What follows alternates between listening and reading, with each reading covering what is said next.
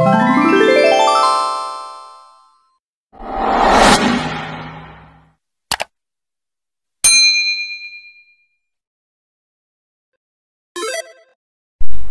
Assalamualaikum warahmatullahi wabarakatuh. Halo semuanya, kembali lagi di channel youtube aku Idapar Jadi di video hari ini aku mau membahas tentang peluang usaha di desa yang berpotensi besar mendatangkan uang. Nah kalau misalkan di desa kan pasti masih istilahnya tuh nggak terlalu banyak perusahaan yang berdiri ya. Jadi kita bisa memilih atau misalkan kita bisa membuka usaha yang berpotensi besar mendatangkan uang. Nah buat teman-teman yang pengen tahu usaha apa aja sih di desa yang bisa mendatangkan uang dan menguntungkan, langsung aja ke videonya.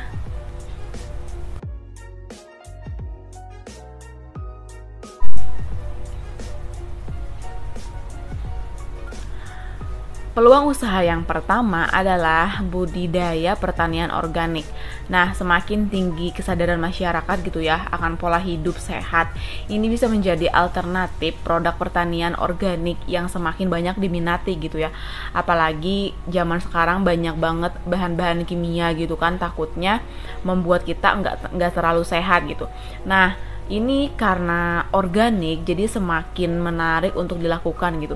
Kita bisa membentuk kelompok tani yang berdiri dari beberapa orang kemudian mulai mengolah lahan pertanian. Karena kan kalau untuk organik itu biasanya lahan pertaniannya khusus. Nah produk pertanian ini tentunya nggak hanya dapat dipasarin nih di pasar-pasar desa aja. Kita juga bisa memasarkan produk ini ke luar desa jadi istilahnya kita akan mendistribusikan hasil pertanian organik ini ke desa desa lain atau misalkan langsung ke pusat pasarnya yang kemudian akan dibeli oleh beberapa masyarakat. Dan usaha yang kedua adalah membangun usaha peternakan. Nah, untuk sektor usaha yang bergerak di bidang peternakan emang memiliki peluang yang besar gitu ya, apalagi dilakukan di daerah pedesaan. Bagaimana tidak gitu ya, banyak banget lahan di desa yang tersedia yang membuat usaha ini tuh makin mudah dilakukan gitu. Ditambah lagi sumber pakan hewan di desa-desa kan masih banyak ya, maksudnya masih secara alami tersedia di sana sehingga dapat meminimalisir biaya produksi. Kalau misalkan di kota kan pasti lahannya mahal, biaya produksinya juga mahal gitu untuk pakan.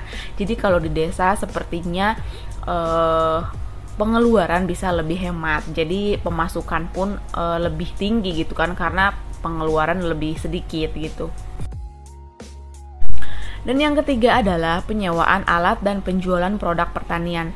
Biasanya kan kalau di desa-desa banyak banget lahan pertanian dan ini bisa menjadi banyak banget profesi orang-orangnya tuh sebagai petani gitu.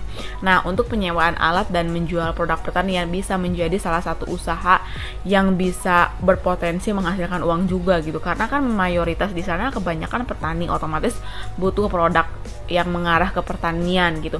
Kemudian kayak alat-alat gitu juga kan bisa menjadi sebagai alternatif untuk menghasilkan pundi-pundi karena kan nggak mungkin dong eh, nggak ada yang nyewa alat-alat yang kita buka misalkan kita punya alat-alat pertanian pasti ada aja gitu untuk uh, penye yang menyewa alat itu tuh pasti bakalan ada karena kan mayoritas penduduknya kan uh, ada di pertanian gitu pasti membutuhkan alat-alat untuk pertanian.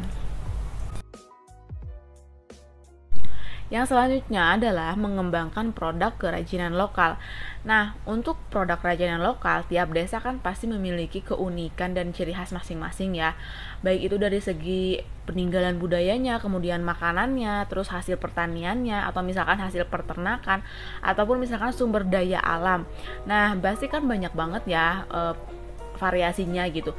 Tugas kita bi biasanya mencermati keunikan tersebut gitu dan memilih salah satu yang paling potensial untuk dijadikan peluang bisnis tuh yang mana apakah pertaniannya atau misalkan peternakannya dan kita nantinya bisa mendistribusikan produk kerajinan lokal ini dan nggak didistribusikan di desa doang kita bisa mendistribusikan ke wilayah-wilayah lain gitu.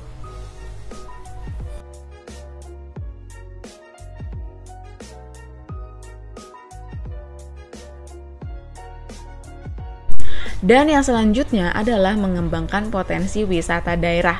Nah, kalau misalkan di desa kita banyak banget nih objek wisata, ini juga bisa dijadiin sebagai ide usaha gitu kan. Tentunya kalau misalkan usaha-usaha yang ada di desa itu misalkan objek wisatanya itu lebih ke perairan ya di desa kita misalnya lebih banyak perairan. Kalau seperti pantai atau misalkan danau. Nah itu berarti kita harus lebih kreatif bisa membuka usaha penyewaan alat permainan yang berhubungan dengan air.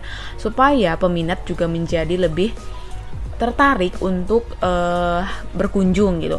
Nah kemudian kalau misalkan objek wisata di desa kita itu lebih kebanyakannya misalkan pegunungan atau misalkan bukit, kita bisa membuka area camping dan lain-lain gitu. Seperti itu sih, pokoknya tuh kita harus bener-bener kreatif gitu agar peminat juga lebih tertarik kayak gitu. Yang selanjutnya adalah bisnis makanan kekinian. Nah, untuk bisnis bisnis makanan kita akan mengubah konsepnya itu. Misal nih, biasanya kalau sebelumnya itu kita mengambil konsep dari desa ke kota, sekarang mari kita coba mengambil konsep dari kota ke desa karena kan berkembangnya industri kuliner itu biasanya di daerah perkotaan lebih banyak dan lebih bervariasi. Jadi kita jadikan potensi untuk peluang usaha di desa gitu. Nah, keuntungannya membuka usaha ini mungkin kalau misalkan di desa masih minim persaingan ya. Kalau misalkan di kota kan udah ketat banget. Jadi kita bisa menjadikan bisnis makanan kekinian ini menjadi ide usaha di desa gitu.